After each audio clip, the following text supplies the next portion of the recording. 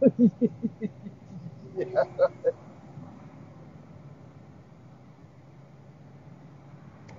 rồi ma say rồi mắt đi chim lắm